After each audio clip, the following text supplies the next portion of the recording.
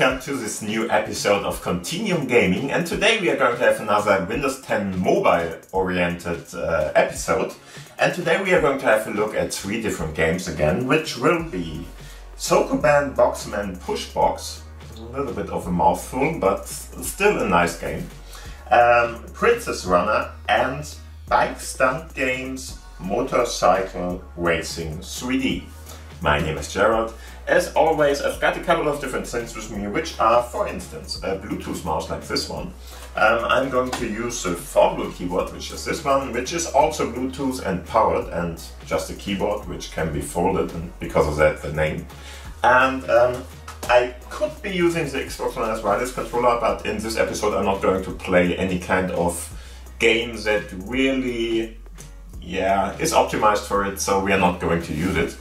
And um, other than that, of course, everything is powered again by my mighty Lumia 950 XL. You can see it here. It has a USB-C connector at the bottom, which is connected with a USB-C cable, which is not connected today with the display dock, but it is directly connected to the TV by HDMI. So this is an uh, USB-C to HDMI cable, and that one is connected to the TV, and like that we can have a look at this desktop-like experience which is generated by the smartphone and can be used more or less like a desktop. More or less. It's not really a desktop system, it's Windows 10 Mobile running here. But as you can see, I can now use my uh, mouse, for instance, and other stuff to navigate around and do stuff.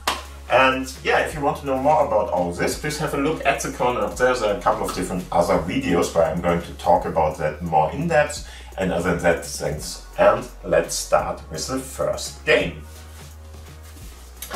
Okay, the first game is going to be Sokoban Boxman Pushbox, which is a mouthful as I already said, but a very nice game, but pretty hard, just to let you know. It's more or less a puzzle game, something like that, but it's pretty hard to play.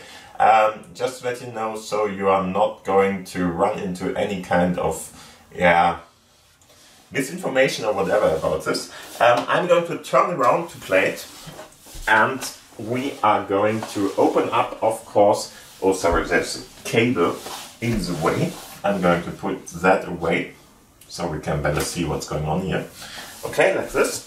And um, yeah, in the end, what I'm going to do is, of course, I'm going to go to my all apps list here and searching for Sokoban Boxman Push Box. Okay, if I click on that, um, we are going to go in and yeah, this is more or less a puzzle game where you are going to try to occupy certain spaces on your map more or less with boxes you have to uh, turn around and uh, move around with your character.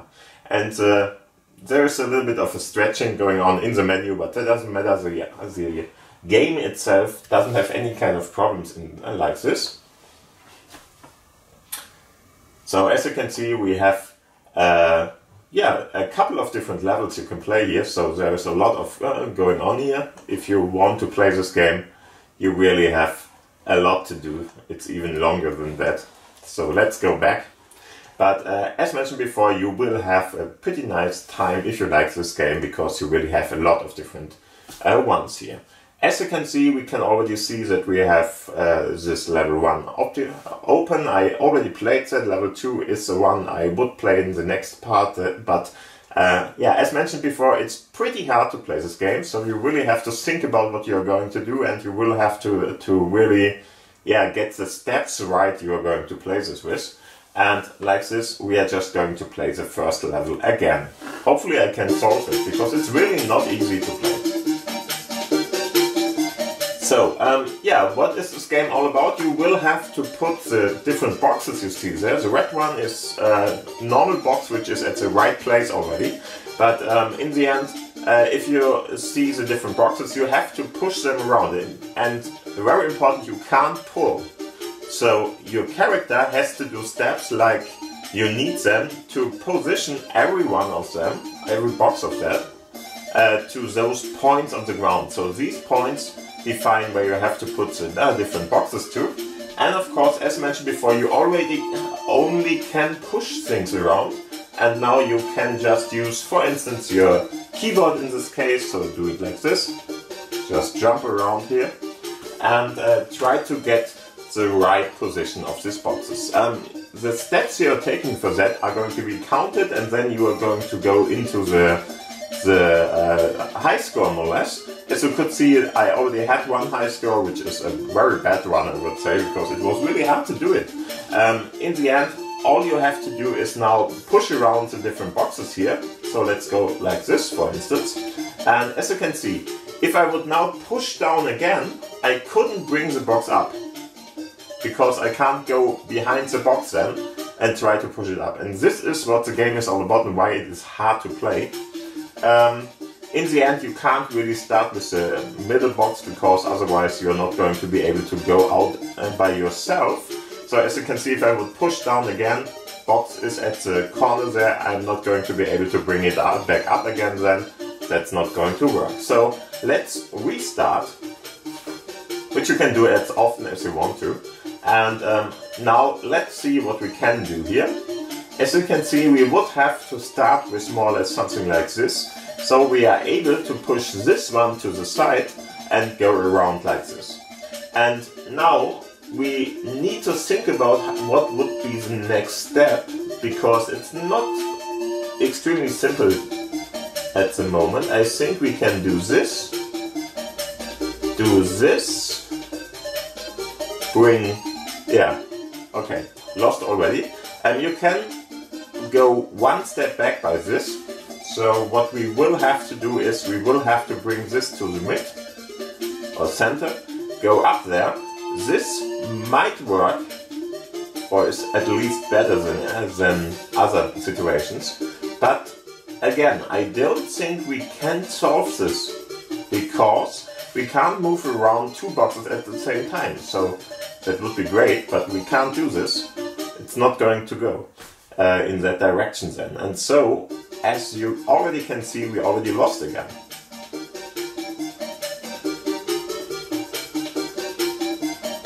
Did we? Yeah. Yeah, I can't really move the box from this position over there. At least not easily. Yeah, okay. Let... Uh, okay. Sorry. Let's go this way around. I'm going to try to get it to work, but it's really not easy. This is possible, but the problem is I will have to push the upper box to somewhere. Otherwise I can't move that box around, and if I do that, both of them are at the same, I can't solve it. So let's do it again. As mentioned before, really really hard game. You really have to think about what you're doing here.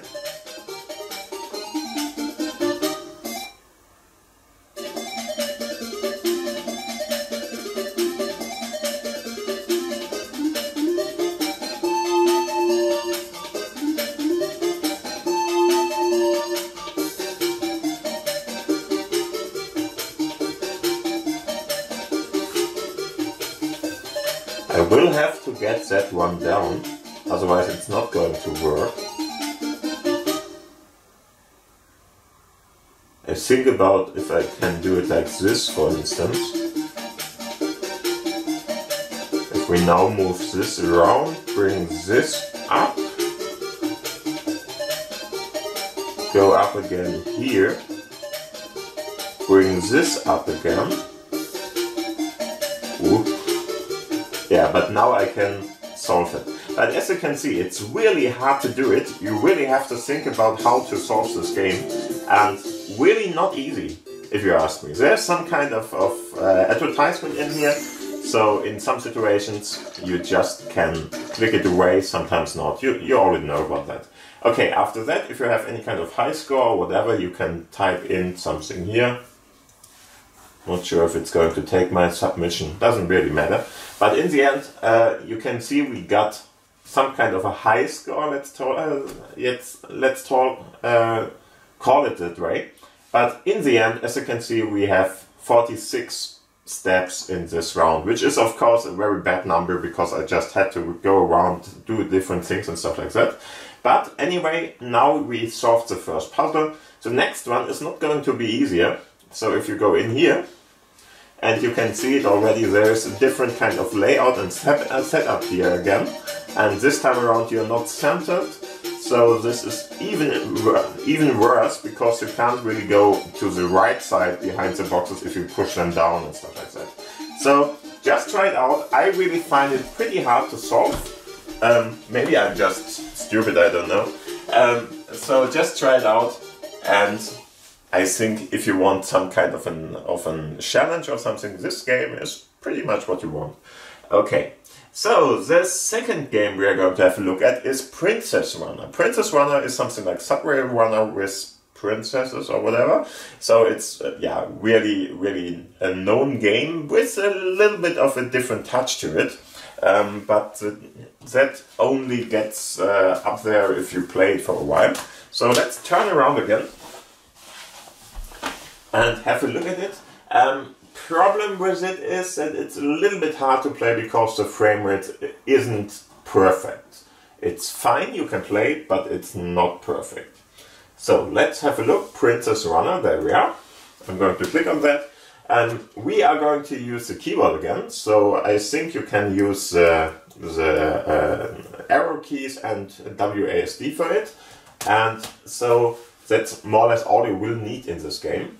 And what you're going to do here is you're going again to run from some kind of a policeman and you're running through yeah train stations and stuff like that. So the, the thing you already know, um, there can be different things, but it's a 3D game as you can see, a pretty nice one, but with a little bit of a problem with the frame uh, stuff. If you ask me, it's not totally smooth, but still okay to play.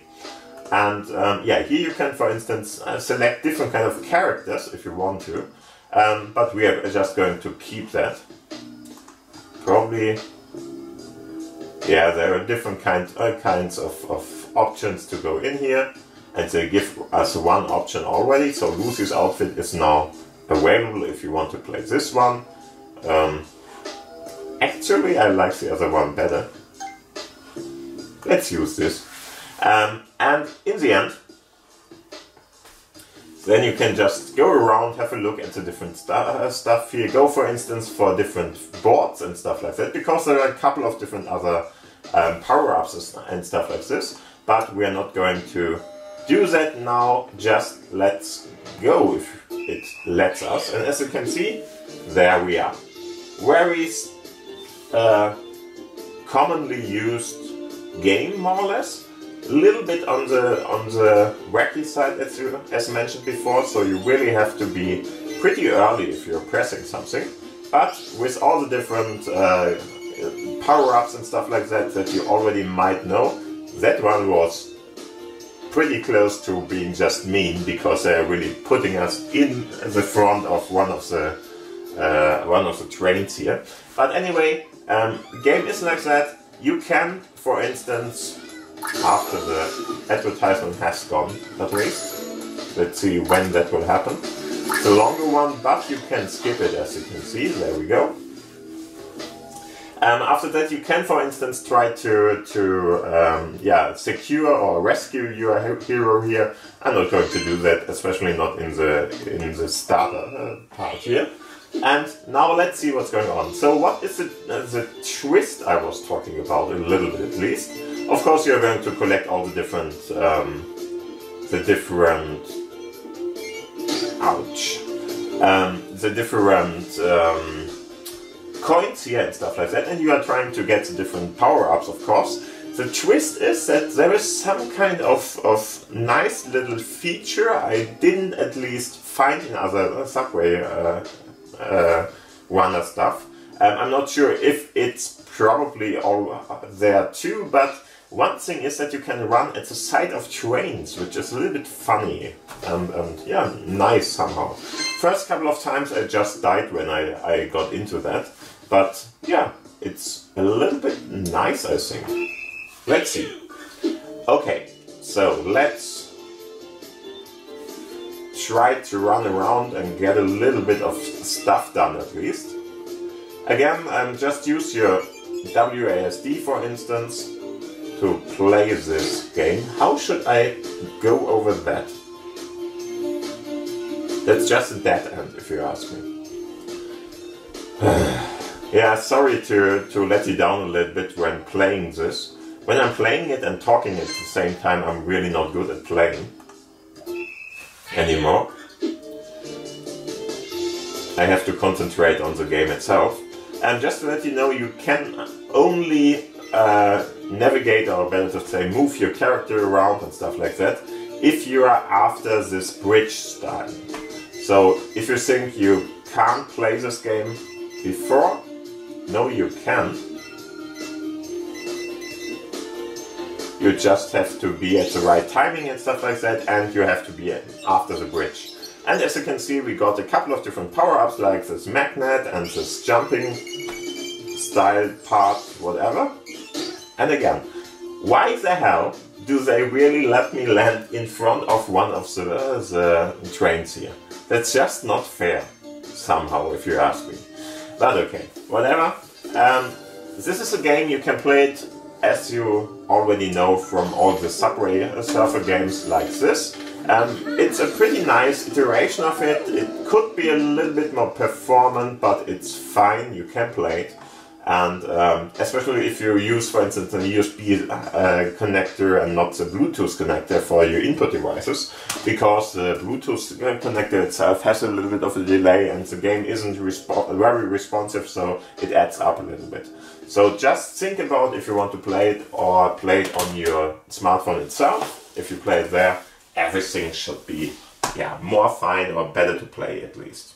Okay, and then let's have a look at the last game of this episode. The last game of this episode is going to be Bike Stunt Games Motorcycle um, Racing 3D, a mouthful again, but um, yeah, more or less a game where you're going to drive with a, mo a motorcycle around and you're going to uh, have to do uh, yeah a couple of stunts, stuff like that. It's a little bit funny because all the different stunt courses and stuff like that are in the air for some uh, kind of reason. The good thing about it is you're not really dying or something.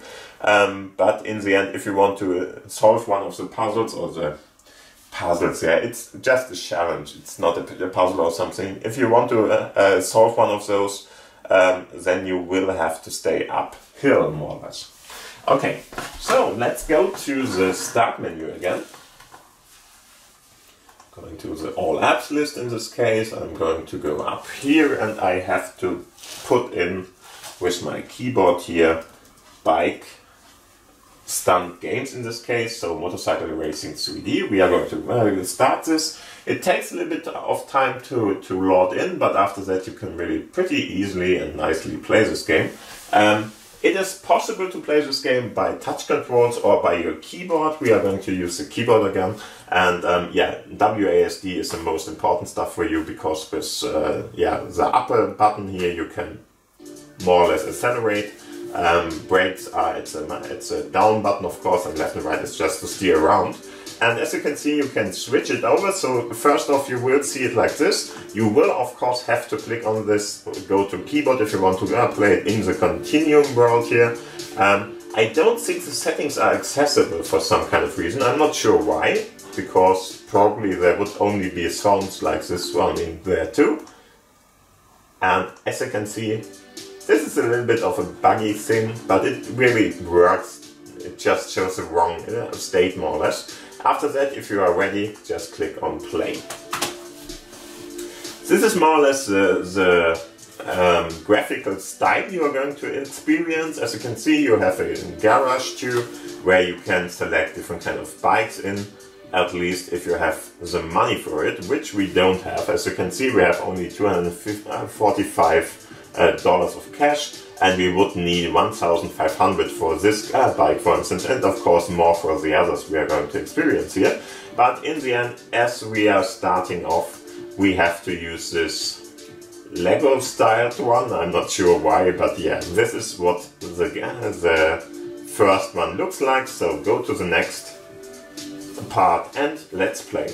As you can see we have a couple of different modes here. So a day um, mode where you just play at daylight and everything is fine.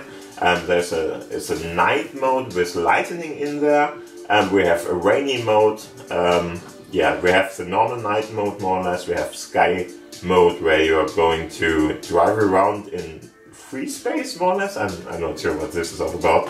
But anyway, we are just going to go with the first one. As you can see, first level I already solved this. Second level would be the next one. And you have about 10 levels for each of the selections there to go on and on about. We are going to start with the first one here again. And as mentioned before, use your keyboard to steer this. If you are on Continuum, it's much better than anything else and works pretty nicely. I'm not sure if we could use a wireless controller. I didn't test it probably. Let's see if there's something working there. And I'm just starting this up. Now it's connected and now we can have a look at... Yeah, he is... He is working. And I'm dying. But in the end, um, yeah, seems to be working with the controller too, so if you want to use that, try this out. Um, I never played it with that before, so I may try it. Yeah, why not? So go.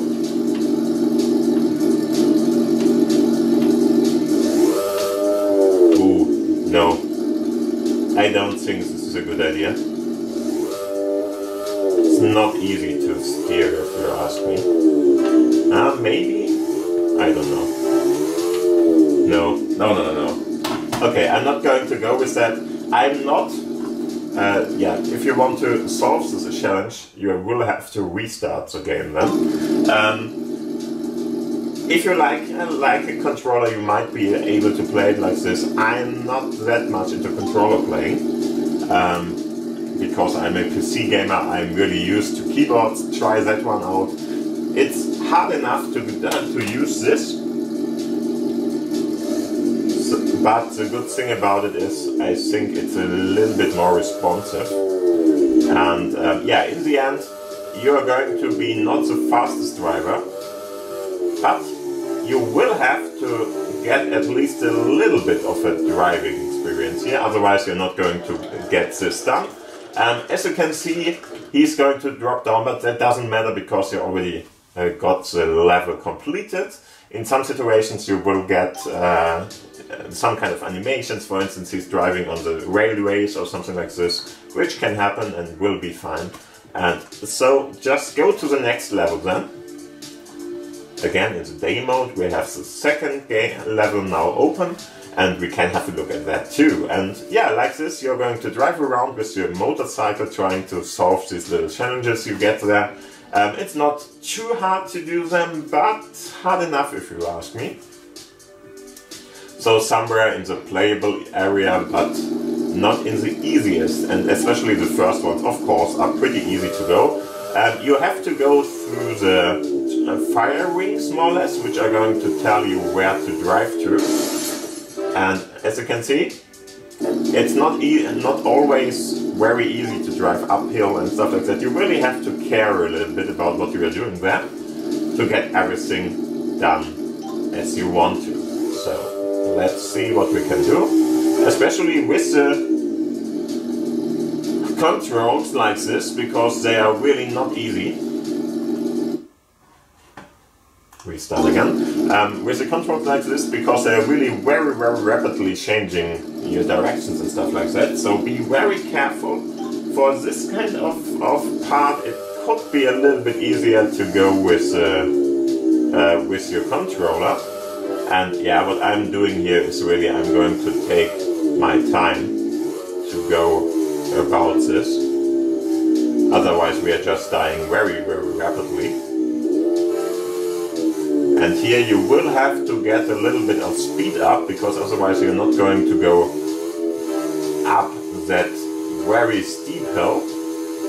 And we got it. This one is already solved too, so level 2 solved. And as you can see, you get a couple of different uh, different challenges here from different spawning points, more or less, and you just have to go through there. The first ones are easy enough to play, um, at least if you found out how the game is working. Other ones are pretty hard to do.